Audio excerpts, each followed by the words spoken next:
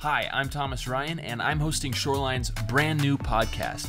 During our Intellectual Barriers to Faith series, we'll be asking some big questions. So, we called in some folks from Shoreline's community who operate in an intellectual setting every day.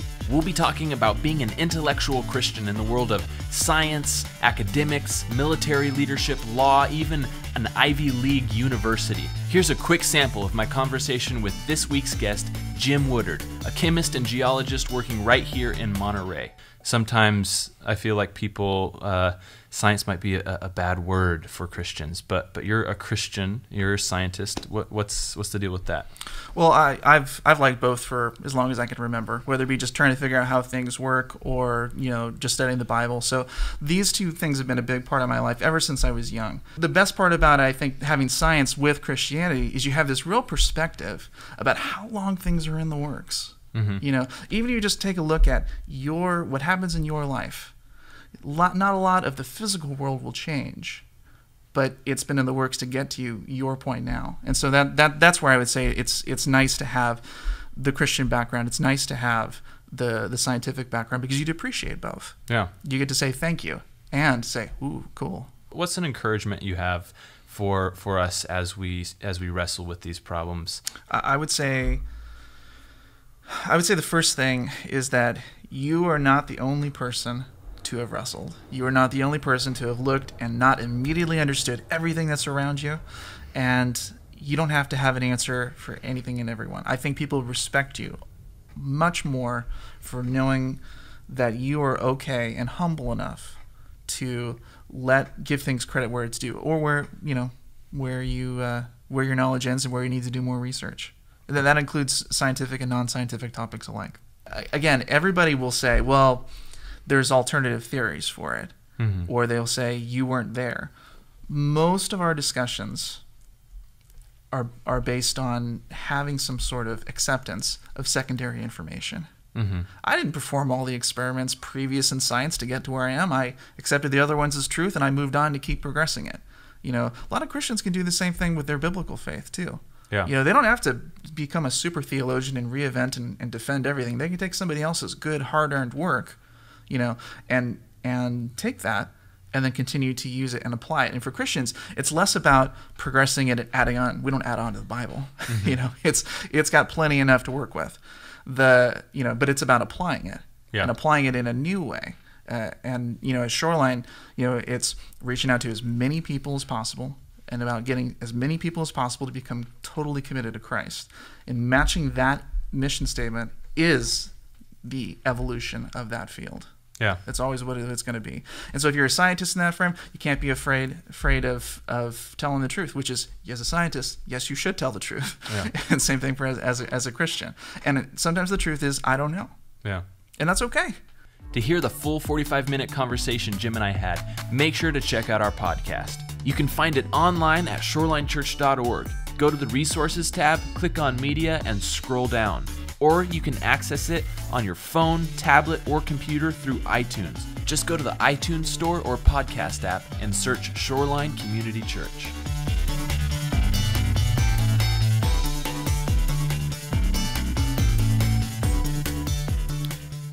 So, listen to those podcasts, download them, share them with friends, and get yourself thinking about these things.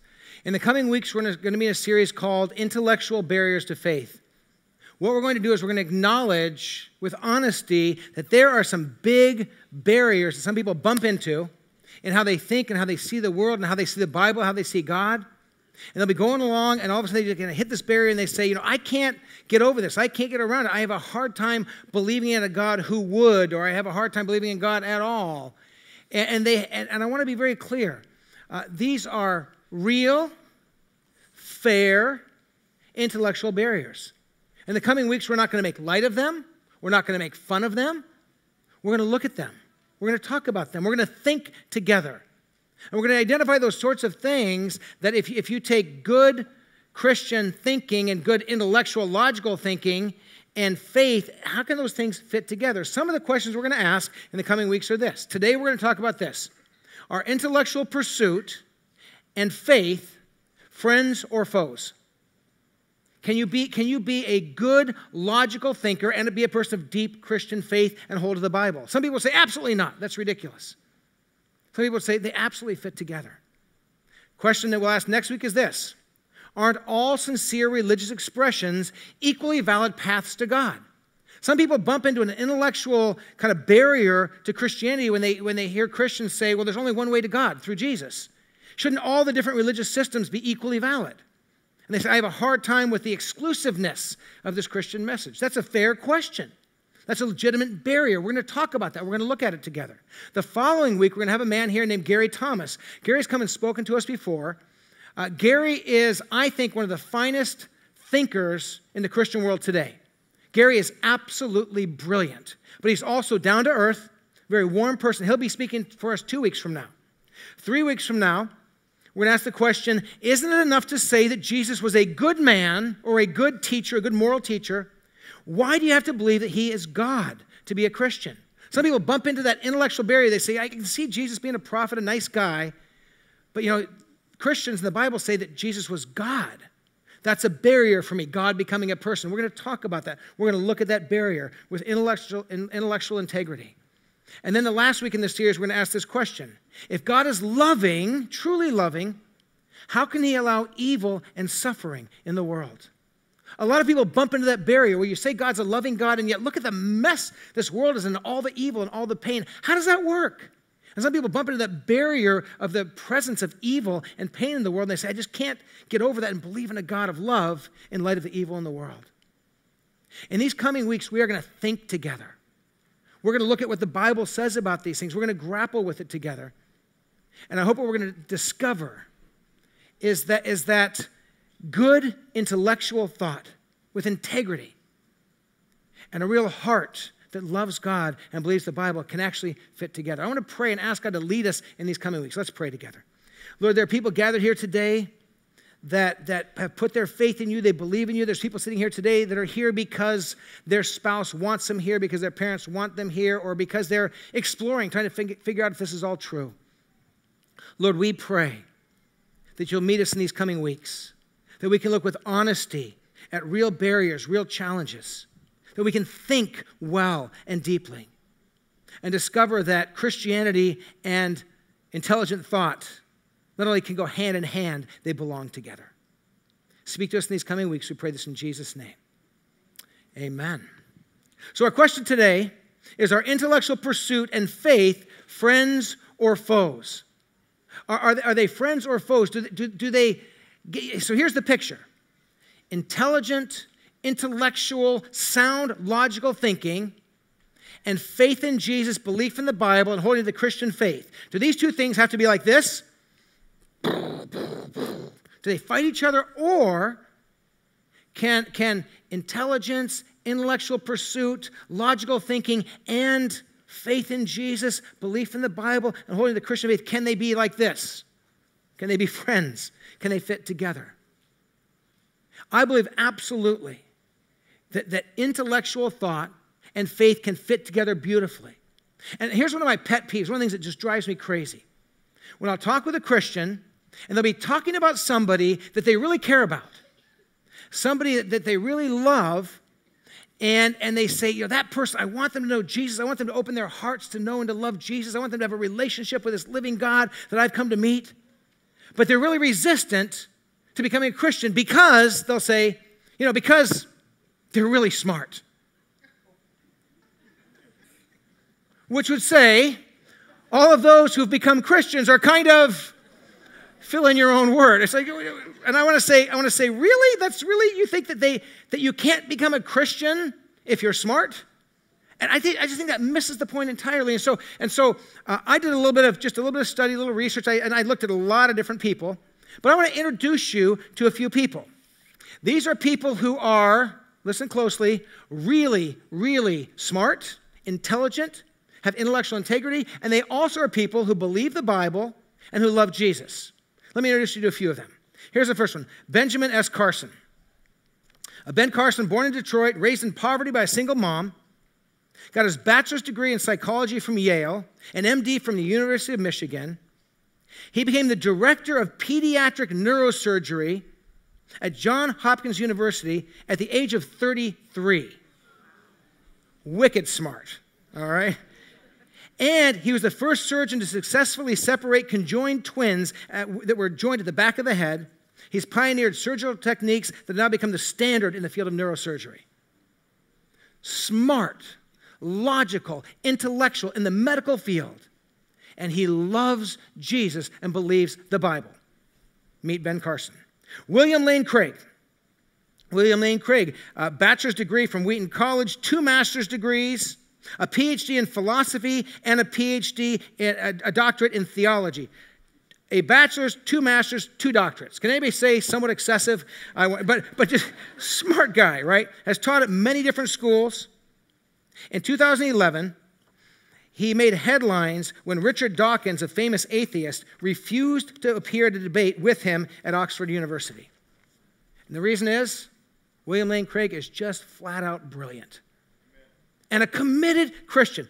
Person number three, and this is just a sampling of way more. Actually, you can come and look at my notes if you want to, or contact Ramel and she'll send you all these different people I couldn't get to.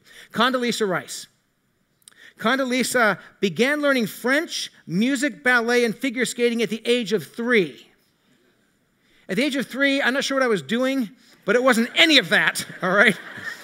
Uh, classical pianist, once played, uh, accompanied Yo Yo Ma, famous musician bachelor's degree, master's in political science uh, from Notre Dame, studied Russian at the University of Moscow, PhD in political science, also loves Jesus, believes the gospel, believes the Bible, taught at Stanford University, uh, became the national security advisor and then the secretary of state for the United States of America and now is presently a professor of political science at Stanford and also holds a number of chairs in places of real influence. In the world of education, and the world of politics, brilliant mind, intellectual integrity, loves Jesus, believes the Bible.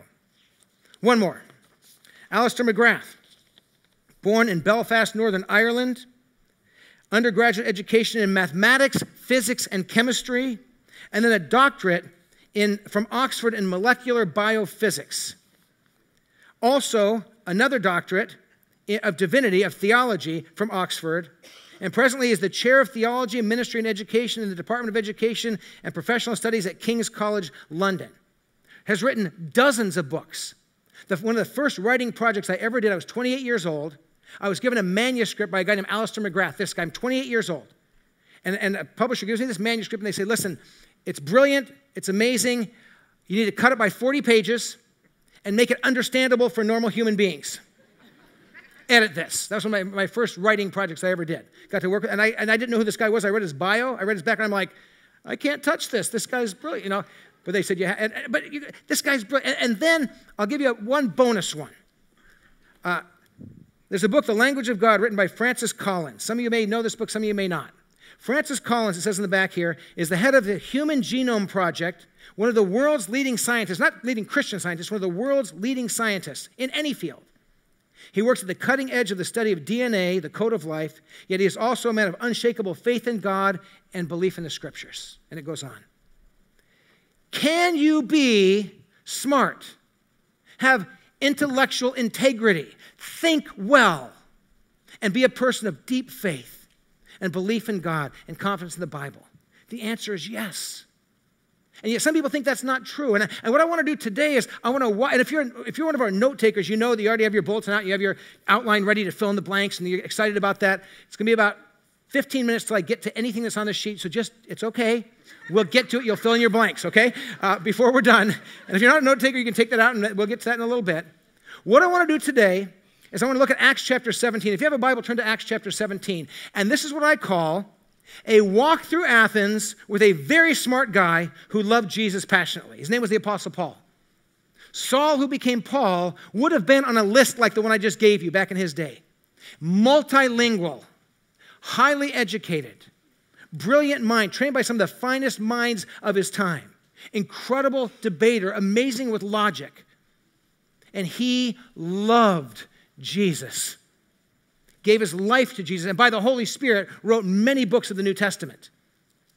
And we're going to walk with him into this intellectual center where he walks into this city, the city of Athens, We're going to be in, in Acts chapter 17, beginning in verse 16. And we're going to walk together through this experience and see somebody who's brilliant, but also has a heart for Jesus and how these things can fit together. So, the first thing, caring about people's hearts and minds. Verse 16. While Paul was waiting for them, some friends were going to join him. While Paul was waiting for his friends in Athens, he was greatly distressed to see that the city was full of idols. Athens, the, the, the streets in Athens were lined with idols, with statues made of wood and made of stone and made of metal that people worshiped and filled with temples of pagan gods.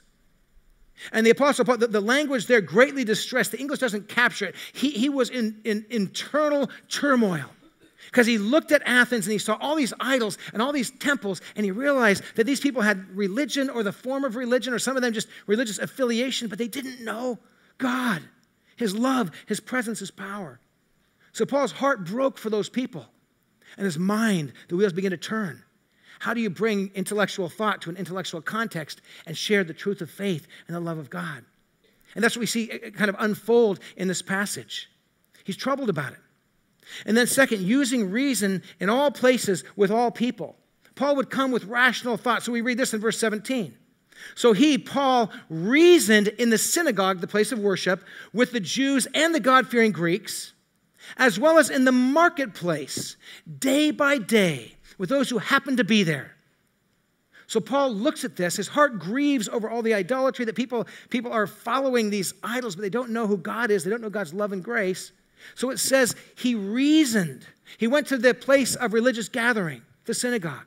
And there was Hebrews, Jewish people there, but there was also Greeks who had become adherents of Judaism who were trying to understand who God was. And it says he reasoned with them, he thought with them. If you read the, the, letters of the Apostle Paul, God inspired him by the Holy Spirit, but God used his mind and his intellect for logic and for reason to make sense of things. Read the book of Romans, an incredible logical progression of thought. And so he begins to reason with people in the church. But then it says he also reasoned with people in the marketplace day by day with all those who happened to be there. He walks into the marketplace, the place of ideas, the place of thoughts. Back then, it would be a literal marketplace, a place where things were sold or where trading happened, but it was also a marketplace of ideas. The marketplace on the hills, and the Areopagus particularly was this one hill where the intellectuals of the day would gather and they would think together, they would talk together, they would grapple with deep thoughts. They would debate, they would, they would just think through things and, and, and is this true? Isn't this true? And Paul goes there and he reasons with them. His heart breaks for what's happening in the city, but his mind is ready to reason with people. He brings these things together. I think that's what we need. This is a great model for us as Christians today. It's not just all my emotions, it's not just all my mind, it's these things together. I mean, hasn't God told us to love the Lord our God with all our heart, all of our soul, and all of our mind? And that's what Paul's doing. He reasons with them, he explains things to them. And then sharing Jesus and knowing that not everyone will get it. As, as the Apostle Paul interacts, and this is over a series of days, he's talking with him, he's reasoning with them. But also, Jesus comes into the discussion. And he knows that not everyone's going to get it, not everyone's going to buy it, but he brings Jesus into the conversation because Jesus is the author of truth. So we read this in verse 18. A group of Epicurean and Stoic philosophers began to debate with Paul. Some of them asked, What is this babbler trying to say? Said, He's not even making sense to us. Others remarked, He seems to be advocating foreign gods. They said this because Paul was preaching the good news about Jesus and the resurrection. Paul is teaching about this Jesus who died and rose again, and talking about the resurrection for all who put their faith in Jesus. Well, here's the challenge the Epicurean philosophers were, were pure materialists.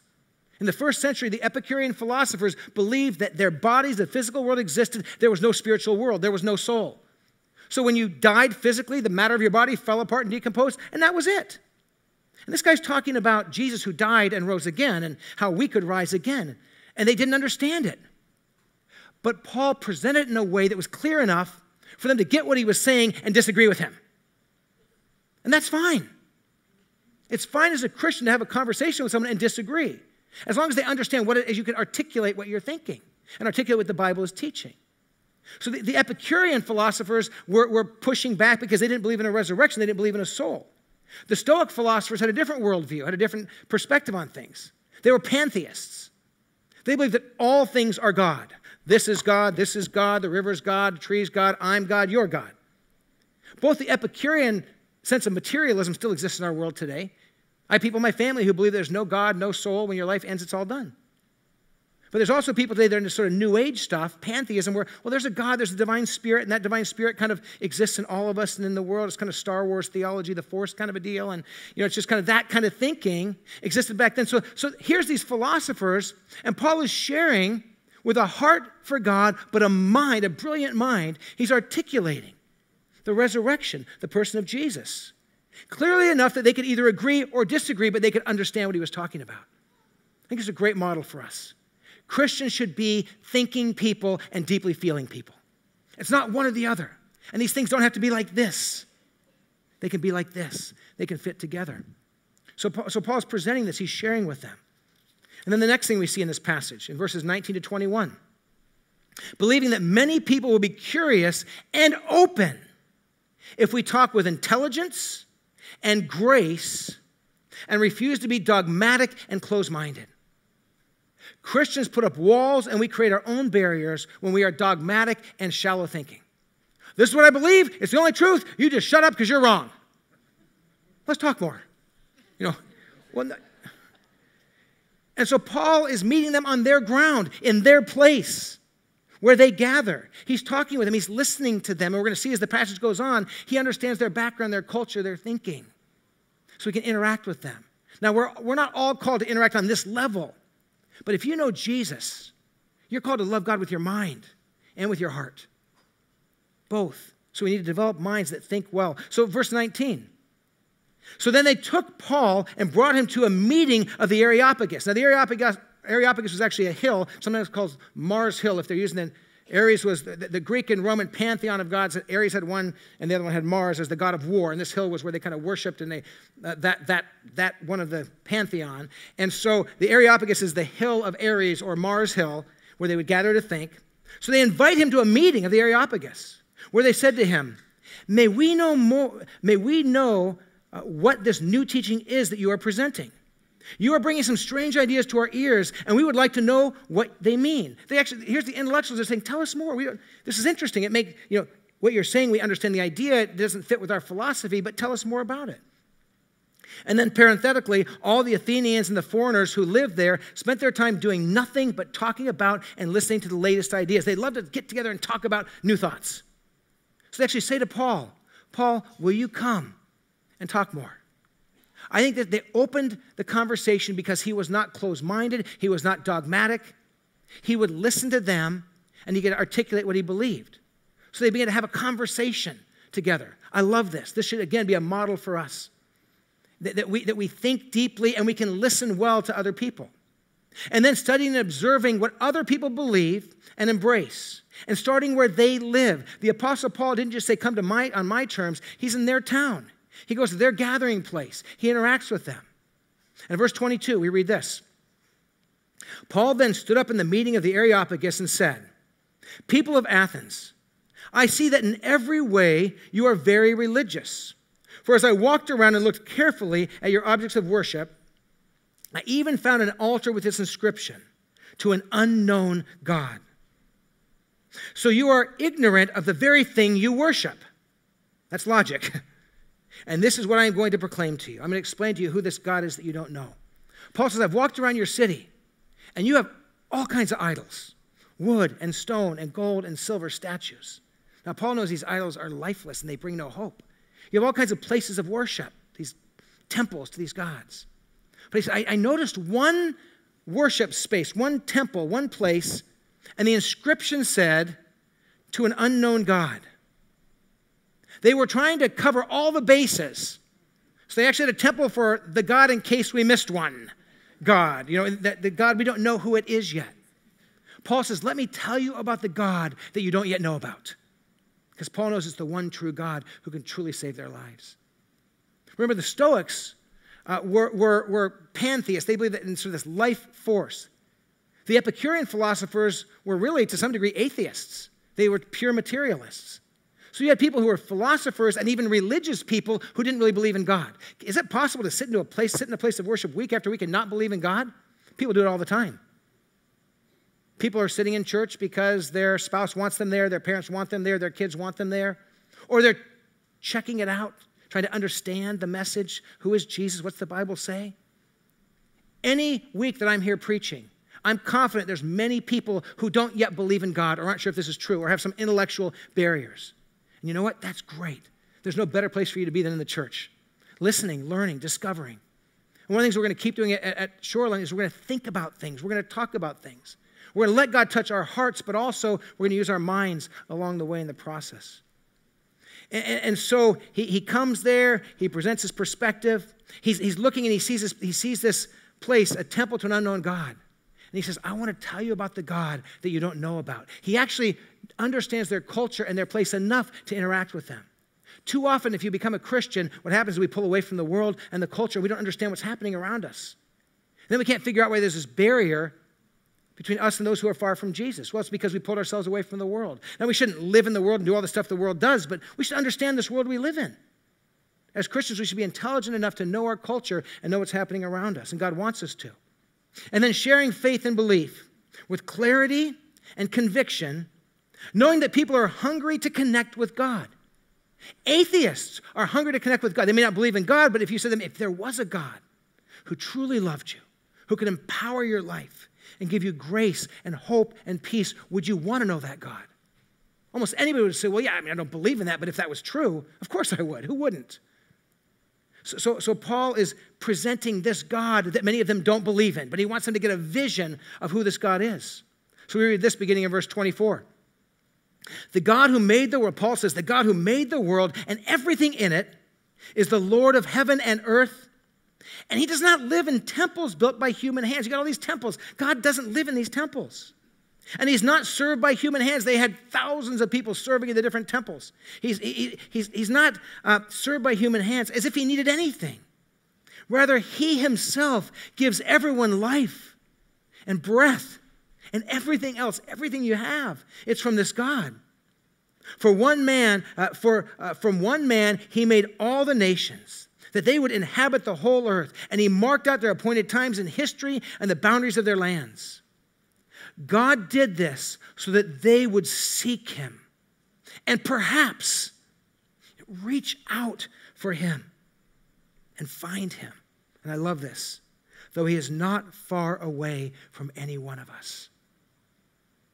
Paul says, This God, this real God who made everything, who gave you your breath and everything you have, this God has put himself in a place that if you reach out to him, you can find him. And he says this, because he's not very far away if you'll just reach out.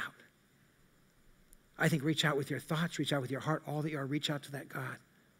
So Paul gives us vision. Reach out to this God. I love this. Paul is using logic, he's making sense, but he's presenting Jesus. And then knowing the literature, the culture, and the thinking of those we interact with. So then, Paul, at this point, he's saying you can reach out to this God, he's closer than you realize. And then in verse 28, Paul says, For in him we live and move and have our being. And as some of your own poets have said, we are his offspring. In that one little verse, verse 28, Paul quotes two of their thinkers of the day, two of their poets. One, time, one quote is this For in him we live and move and have our being. The other one is, We are his offspring. And so, so Paul, as he's speaking to them, he, he kind of connects with their language, with their people. He understands their culture, their art, their poetry. He hasn't distanced himself from the world and said, I want nothing to do with that. He understands how they think and where they come from. There's something about that. If you're a thinking Christian, and that, that, should, that should not be an oxymoron, that should be a definition. To be a thinking Christian, to, to understand that, that God is as close as, as you know, we can imagine a dream, we can reach out to Him, but, but also to understand that um, when we get, understand culture and art and music and all the things that are around us, that, that those things, we can speak those things as we talk with people. If we're out of touch with what's happening in the world, we're going to have a hard time presenting Jesus.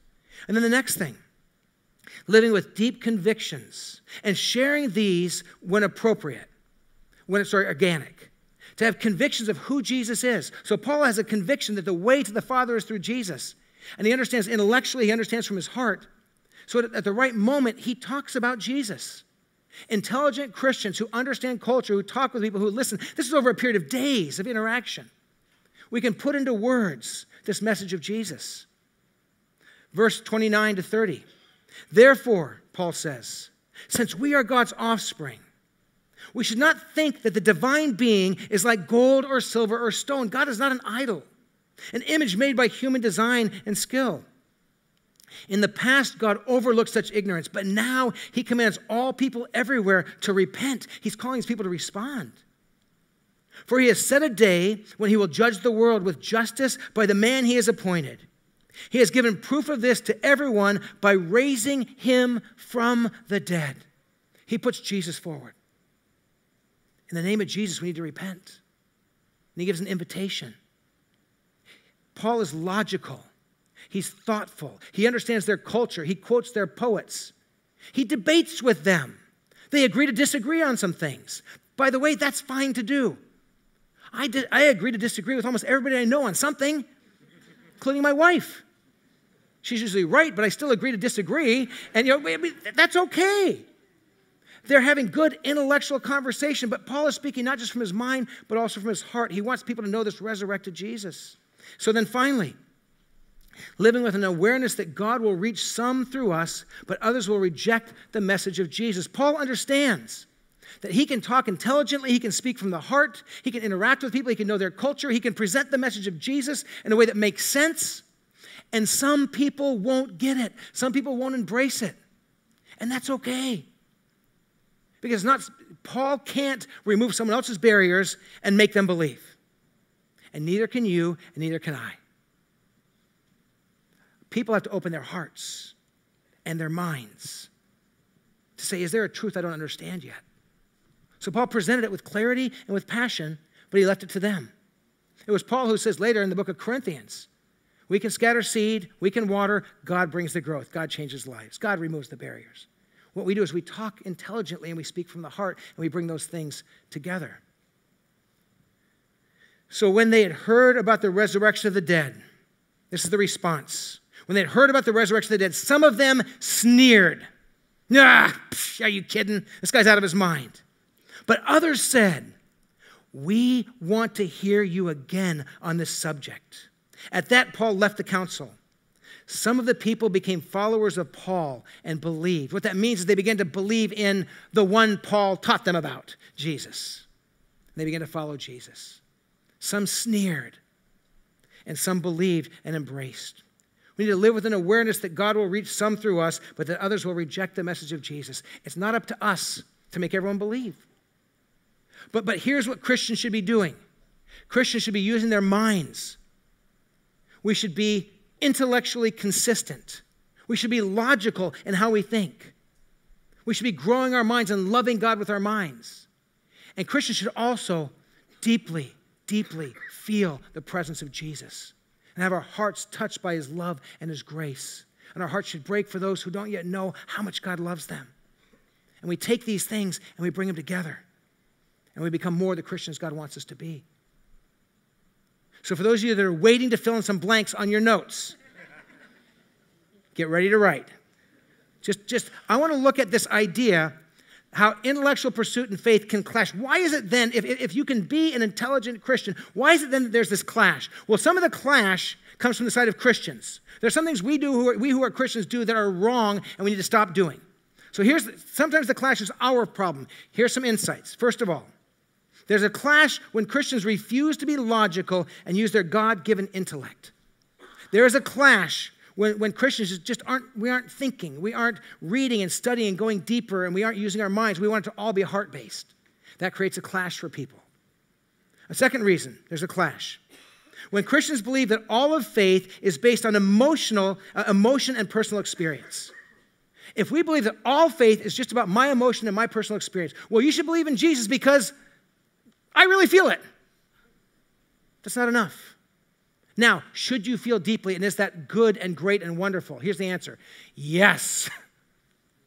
But there's more. And if you think all of faith is just your feelings, you need to open this book and get into the Word of God and understand that God calls you to love Him with your mind as well as with your heart. Here's the third thing I think there's a clash when Christians give simplistic answers to complex issues and questions. When we throw off simplistic answers to complex questions. So somebody says, I can't, and we're going to be talking about this in a few weeks. I just can't believe in a God who's supposed to be this loving God, and yet all this evil happens in the world. And you say, you know, you just got to just love God anyways. Well, that's nice, but that hasn't addressed their issue, has it? We give a simple answer. You just got to believe. They say, but I don't believe in a God who's a loving God with all the evil in the world. You're not responding with your mind. You're saying, well, but just believe. And that, and that doesn't help. That actually, in some ways, gets in the way and reinforces the idea. And, and so, so sometimes, even just to stop and say, why, why is that such a stumbling block for you? And then, and then they start to talk. This is why we talk with people. We intelligently interact with people. Maybe they say, well, you know, when I was seven, I went to church as a kid. When I was seven, my grandmother got cancer. And I prayed and prayed and prayed to God to heal my grandmother, and she died. And I said, right then, I will not believe in a God who would let my grandmother die. Now, all of a sudden, you go back to your answer just believe. It seems kind of shallow, doesn't it? They're talking about something very real to them. But there are ways to think and understand our world and the reality of evil that maybe it's not God who creates evil. There's a bigger story. We're going to get into that in a few weeks and talk about that.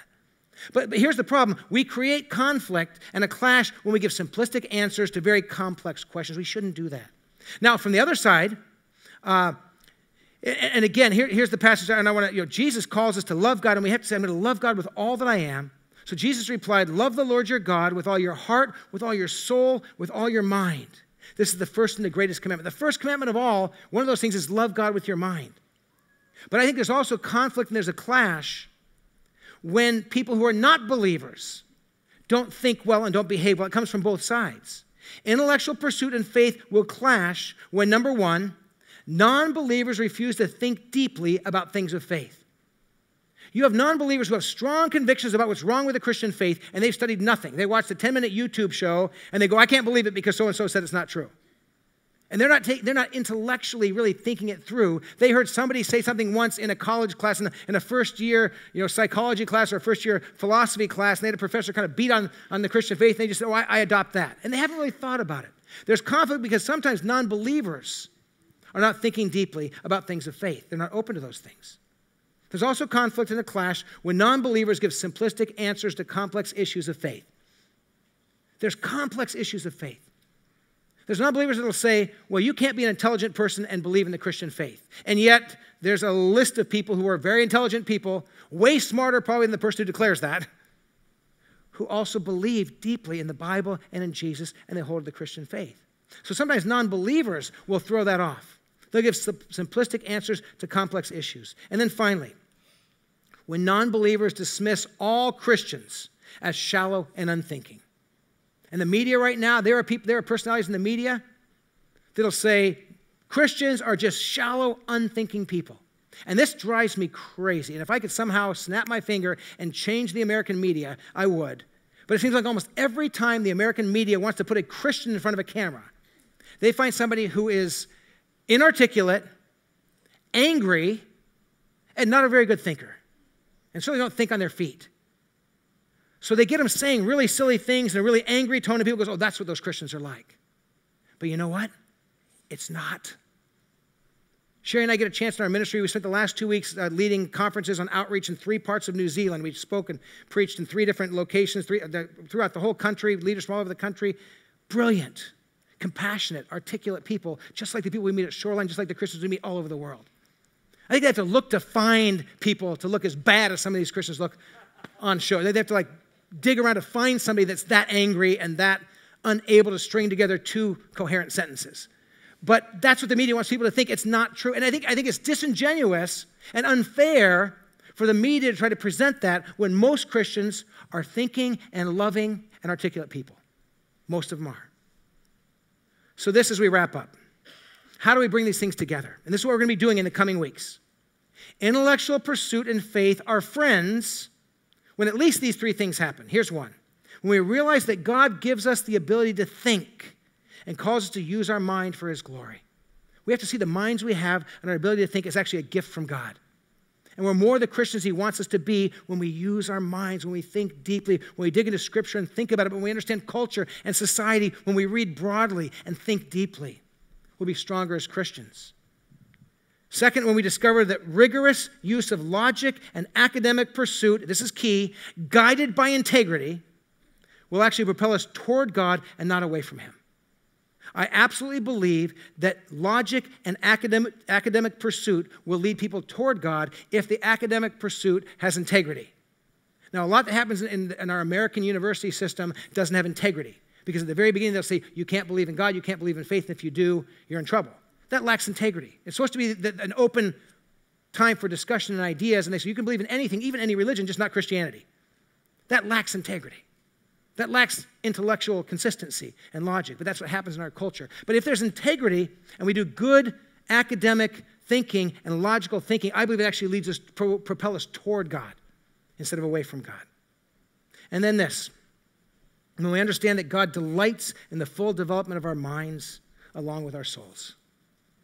If we want to bring together reason and thought and our minds and our hearts and faith and passion and love and bring those things together, we have to understand that God takes delight when we grow our minds to think his thoughts and we grow our hearts to love him deeply. So let's pray and let's ask God to do that in these coming weeks. Living God, we thank you for a church like Shoreline where we can gather together, we can think together, we can worship and celebrate you together with all of our hearts with all of our souls, but we can think with all of our minds. I pray for anyone here today who has intellectual barriers, that in these coming weeks that, that you will speak to their hearts and their minds and draw them near to you. I pray for people here who have friends and family who push away from the faith because they think intelligent people can't love Jesus. And I pray that they would just come to see that actually some of those brilliant minds in the world today love you, Jesus. They believe the Bible, they know it's true. And I pray that those people would have the intellectual integrity to study and to think about things of faith, even as we should think about things that, that um, demand rigorous study and pursuit. God, grow our hearts, grow our minds that we may love you fully. We pray this in Jesus' name. Amen. I want to hand off our venues to their venue pastors right now. They'll share a couple things with you.